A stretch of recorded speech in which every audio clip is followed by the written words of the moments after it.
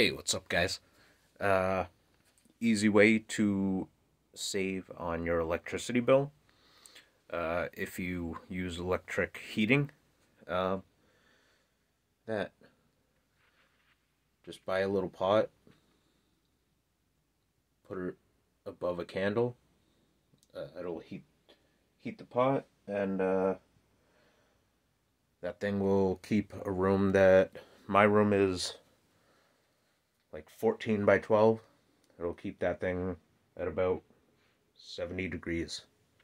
So, it's one way to do it.